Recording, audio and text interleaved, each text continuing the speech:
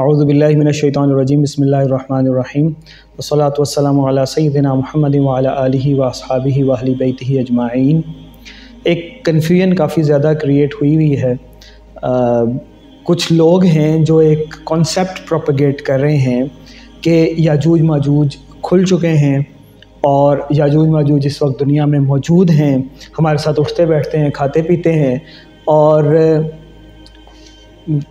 एक एक फ़र्ज़ी कॉन्सेप्ट पूरा क्रिएट किया गया है और इतनी ज़्यादा उसके एस्पेक्ट्स क्रिएट किए गए हैं कि आम इंसान या इंटेलेक्चुअल माइंड उसके ऊपर बिलीव करने पे मजबूर हो जाता है। और कहा यह जा रहा है कि ये जो जायनिस है यहूदी या सहूनी कहना चाहिए इसराइली हैं जो इस वक्त इसराइल स्टेट बना रहे हैं, यही दरअसल याजूज मौजूद हैं। इस सिलसिले में शेख इमरान हुसैन जो अंग्रेज़ी में बयान करते हैं और औरिया मकबूल जान ये लोग काफ़ी ज़्यादा एक्टिव नज़र आते हैं और ये इस चीज़ के ऊपर बिल्कुल बिलीव किए हुए हैं कि याजूज माजूज खुल चुके हैं और यही जो लोग हैं वो याजूज माजूज हैं। इस सिलसिले में बहुत ज़्यादा पढ़े लिखे माइंड्स और इंटेलेक्चुअल लोग और साइंटिफिक जहन के लोग कांटेक्ट करते हैं और ये बात साबित करते हैं उनके दलील को उनके जो दलाइल हैं, उनको एंडोर्स करते हैं कि यही याजूज मौजूद हैं। इस सिलसिले में ये जानना बहुत अहम है कि नबी मुकरम सल्लल्लाहु अलैहि वसल्लम की कुछ रवायात ऐसी हैं कि जिसके अंदर आप सल्लल्लाहु अलैहि वसल्लम ने पूरा सीक्वेंस बताया है कि पहले ये होगा, बाद में ये होगा, बाद में ये होगा। आपके सामने पहले भी गुजारिश करते रहे हैं कि कुछ क़्यामत की निशानियाँ या हालात वाक़ात ऐसे होते हैं कि जिनके रिपल्स क्रिए होते हैं।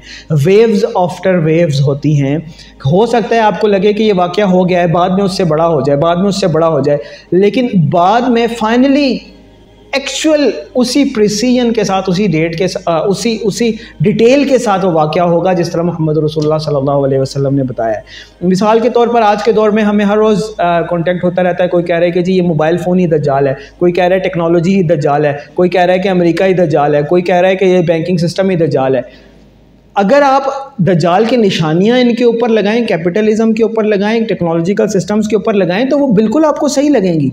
और बात भी सही है। कि दरअसल ये सिस्टम जो है, यही दजालिक सिस्टम है। इसके ऊपर वो चीज़ें पूरी उतरती हैं कि जो इस सिस्टम के आगे सजदा देता है, इसको मानता है, वो इसको मालामाल कर देता है। आप सूदी निज़ाम खाना शुरू कर दें। आप झूठ बोलना शुरू कर दें। इस कैपिटलिस्टिक सिस्टम को एब्जॉर्ब कर लें क्रिप्टो करेंसी में ट्रेड करना शुरू कर दें। जिस तरह के फजूल काम है झूठी मार्केटिंग करके चीज़ें बेचना शुरू कर दें, झूठ बोल के सोशल मीडिया के ऊपर कंटेंट डालना शुरू कर दें, आप माला माल हो जाएँगे, दुनिया आपको अच्छी लगेगी, लेकिन दरअसल आप जहनुम कमा रहे होंगे। और जो इसके सिस्टम को नहीं मानता, वो यही कहता रहता है कि जी, ईमानदारी का दौर ही नहीं है, नेकी करो तो बुरा होता है। मैंने तो ईमानदारी से कारोबार करने की कोशिश की, कारोबार ही नहीं चलता। क्यों?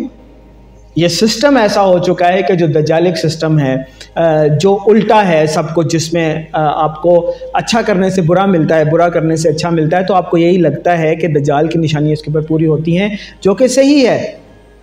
लेकिन इसका यही मतलब नहीं है कि यही वो दजाल है जिसने आखिर ज़मान में आना है। ये सिस्टम ऑफ़ दजाल तो ज़रूर है, लेकिन एक्चुअल दजाल ने भी आना है जो एज आ पर्सन ये जो निशानियाँ हैं, जो साइंस हैं, उनके उनके साथ फ़िज़िकल और टेंजिबल फॉर्म में आएगा। और उस वक्त आपको ये तदबीक और तमसील नहीं देने की ज़रूरत पड़ेगी।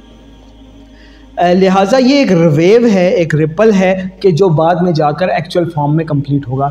इसी तरह और भी जो क़्यामत की निशानियाँ हैं मिसाल के तौर पर तातारियों को आप देखें तो उनके ऊपर भी आपको याजूज माजूज की निशानियाँ पूरी होती नज़र आएँगी। कि वो खून पी जाते थे इंसानों का, जहाँ से गुजरते थे, फ़सलों को तबाह कर देते थे। वो आते इस कदर तादाद में थे कि उनके सामने कोई खड़ा नहीं हो सकता था। जब उन्होंने मिडल ईस्ट पे और मुसलमानों की अब्बासी सल्तनतों के ऊपर कब्ज़े किए तो हर बुलंदी उन्हीं के इख्तियार में आती हुई नज़र आती थी। फिर आपको अक्सर लोग चाइना के ऊपर ये चीज़ें अप्लाई करते हुए नज़र आते होंगे कि ये कीड़े मकोड़े भी खा जाते हैं, इंसानी बच्चे भी बाज़ डार्क वेब में वेब में अगर आपको जाएँ तो आपको इस तरह की चीज़ें मिल जाती हैं कि वहाँ पर इस तरह के भी अल्लाह माफ़ करे ट्रेंड मौजूद है। फिर यही चीज़ें वो किसी ना किसी तरह जैनिस के ऊपर एशकनोजी ज्यूज़ के ऊपर फिट करने की कोशिश करते रहते हैं, जो कि ठीक हैं, पूरी उतरती हैं, लेकिन ये रिपल्स हैं, ये वो वेव्स हैं जो before the actual event happening actual the final wave final tide से पहले ये वो स्मॉल वेव्स हैं जो आपको आती हुई नज़र आती हैं।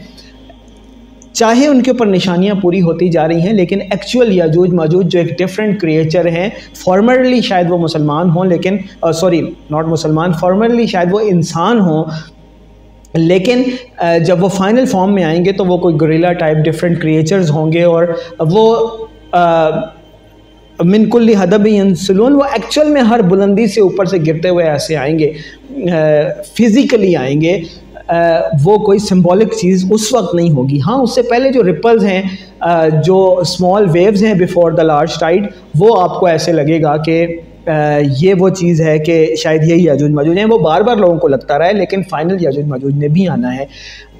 क्यों आना है? इसलिए कि आप सल्लल्लाहु अलैहि वसल्लम ने हर चीज़ की एक तरतीब बता दी है। और ये किसी ज़यीफ़, किसी गरीब रवायत हदीस की मैं बात नहीं कर रहा। ये मसनत अहमद की तेरह हज़ार बारह one three zero one two हदीस है और इसकी सनत सही है। और यही इसी मजमून और मतन के साथ ये हदीस जो है आपको दीगर से आय सित्ता में मिल जाएगी और जिसमें आप सल्लल्लाहु अलैहि वसल्लम ने तरतीब के साथ बताया है सारा कुछ। और ये हज़रत नवास बिन सुमान रज़ी अल्लाह तु से रवायत है कि आप सल्लल्लाहु अलैहि वसल्लम ने सुबह दज्जाल का ज़िक्र किया। इसका ज़िक्र करते हुए आप सल्लल्लाहु अलैहि, पूरी तफसील के साथ में बहुत तवील ये हदीस है। इसमें पूरी तफसील के साथ उन्होंने बताया है कि कैसे आप सल्लल्लाहु अलैहि वसल्लम ने जो क़्यामत के वाक़ात हैं, उनको तरतीब के साथ बताया है। फिर आप सल्लल्लाहु अलैहि वसल्लम कभी आवाज़ को पस्त कर लेते, कभी बुलंद, यहाँ तक कि हम ये समझने लगे कि वो यहीं कहीं खजूरों के किसी झुंड में मौजूद होगा। हम इस कदर खौफजदा हो गए कि जब आपकी खिदमत में हाजिर हुए तो आपने हमारे चेहरों पर दहशत महसूस की। हमने आप सल्लल्लाहु अलैहि वसल्लम से दज्जाल के मुतालिक मज़ीद दरियाफ़्त किया कि अल्लाह के रसूल सल्लल्लाहु अलैहि वसल्लम, आपने आज दज्जाल का ज़िक्र किया और अपनी आवाज़ को कभी पस्त और कभी बुलंद किया कि यहाँ तक कि हम ये समझने लगे कि यहीं कहीं झुंड में मौजूद होगा। आप सल्लल्लाहु अलैहि वसल्लम ने फरमाया, मुझे तुम्हारे मुतालिक दज्जाल के अलावा दूसरी बात का अंदेशा ज़्यादा है, क्योंकि अगर मेरी मौजूदगी में दज्जाल आ गया तो तो मैं तुमसे आगे इसका मुकाबला करूँगा। और अगर वो मेरे बाद ज़ाहिर हुआ तो हर आदमी अपना दिफा खुद करेगा। और हर मुसलमान पर अल्लाह ताला मेरी तरफ़ से खलीफा है। यानी अल्लाह मुसलमान को, हर मुसलमान को जिसके दिल में ईमान है, अल्लाह पर बिलीव करता है, उसको फितन दज्जाल से महफूज रखेगा। फिर आगे सारा दजाल का बताया है, आप सल्लल्लाहु अलैहि वसल्लम ने, हम इसके ऊपर तफसीली बात करते रहे हैं। फिर अगली बात जो है वो अहम है। वो क्या है? कि ये पूरा दजाल का है कि किस कबीले के पास गुजरेगा, क्या होगा, कैसे ख़जाने उगलेगा, कैसे होगा, कैसे एक शख्स को कत्ल करेगा, फिर दोबारा ज़िंदा करेगा, उसके बाद क्या हो रहा है? इसके बाद इसी हदीस के अल्फाज में सुनाता हूँ कि आप सल्लल्लाहु अलैहि वसल्लम फरमा रहे हैं कि दजाल इसी तरह लोगों को शोबदे दिखा दिखा कर गुमराह कर रहा होगा कि करने की कोशिश कर रहा होगा कि अल्लाह ताला मसीह बिन मरियम अलैहिस्सलाम को आसमान से भेज देगा। वो दमिश के मशरक़ में सफ़ेद रंग की बुलंद जगह पर उतरेंगे। उन्होंने उन्होंने ज़ाफ़रान के साथ और वर्ष के साथ रंगे हुए वो कपड़े जेब तन किए होंगे, दो कपड़े जेब तन किए होंगे और फरिश्तों के परों पर हाथ रखे हुए होंगे। वो उतर कर दज्जाल का पीछा करके उसे लुद के मशरकी दरवाज़े के करीब कत्ल कर देंगे। इतने में अल्लाह ताला ईसा इबन मरियम अलैहिस्सलाम की तरफ़ वही करेगा कि अब ये इंपॉर्टेंट है। देखें इसके बाद क्या हो रहा है? ईसा इबन मरियम को अल्लाह ताला वही फरमाएगा कि अब मैं ऐसे बंदे भेजने लगा हूँ कि आप इनका मुकाबला नहीं कर सकेंगे। यानी दजाल को कत्ल कर दिया हज़रत ईसा सलाम ने। दजाल के साथ इंसान मौजूद हैं और जंग कर रहे हैं, कुछ उसके साथ हैं, कुछ उसके मुखालिफ हैं। इतना बड़ा फितना है। लेकिन अब उससे बड़ी चीज़ आ रही है कि दजाल को हज़रत ईसा कत्ल कर देते हैं। लेकिन अब हज़रत ईसा को भी कहा जा रहा है कि अब मैं ऐसे मखलूक भेजने लगा हूँ कि उसका मुकाबला आप नहीं कर सकेंगे। लिहाजा आप अहले ईमान बंदों को लेकर कोहे तूर की तरफ़ चले जाएँ, इसके बाद अल्लाह, इसके बाद अल्लाह ताला याजूज माजूज को खोल देगा। इनकी वही कैफियत होगी और हालत होगी जो कुरान में इस तरह बयान हुई है कि मिनकुल हदबियनसिलोन कि वो हर बुलंदी से, तेज़ी से दौड़ते हुए, गिरते हुए आएँगे छलांगे मारते हुए। सूरतुलम्बिया की आयत नंबर छियानवे है। फिर ईसा और उनके साथी अल्लाह ताला की तरफ़ रुजू करेंगे और अल्लाह ताला याजूज माजूज की गर्दनों में कीड़ा पैदा फरमा देगा, जिससे वो जल्द ही मर जाएँगे। इसके बाद ईसा और उनके साथी कोहतूर से नीचे आएँगे। जब वो देखेंगे कि याजूज माजूज की लाशें और बदबू ज़मीन पर हर हर घर में पड़ी हुई है तो वो और उनके साथी अल्लाह ताला से दुआ करेंगे और अल्लाह ताला बख्ती ऊँटों की गर्दनों जैसे बड़े बड़े परिंदे भेजेगा जो उनकी लाशों को उठाकर उधर फेंक आएँगे, जहाँ अल्लाह ताला को मंजूर होगा। फिर वो लाशें होंगी, फिर सारे होगा, ज़मीन साफ़ होगी, फिर हज़रत सलाम का दौर होगा, फिर वो सारी तफसील मौजूद है। ये सही हदीस है, ये गरीब हदीस नहीं है, ज़यीफ़ हदीस नहीं है और मुतद जगह पर सिहाय सित्ता में और उसके अलावा भी ये हदीस आपको मिल जाएगी, जिससे ये बात साबित हो जाती है कि याजूज माजूज के खुलने की तरतीब, इमाम महदी के दौर के बाद दजाल का आना दजाल का आना, उसके बाद हजीसम का आसमान से तशरीफ़ लाना, आकर दजाल को कत्ल किया जाना। फिर दजाल के कत्ल होने के फ़ौर बाद राइट एट द स्पॉट याजूज माजूज का खुल जाना। ये इसकी तरतीब है और इस तरतीब को कोई चेंज नहीं कर सकता।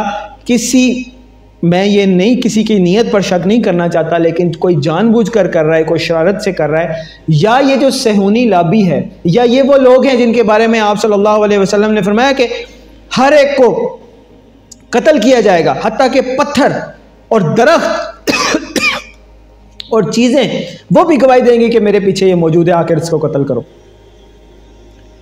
उनको नॉर्मलाइज और न्यूट्रलाइज किया जा रहा है कि नहीं, ये कोई और है, ये वो लोग नहीं है ये तो याजूज मौजूद हैं।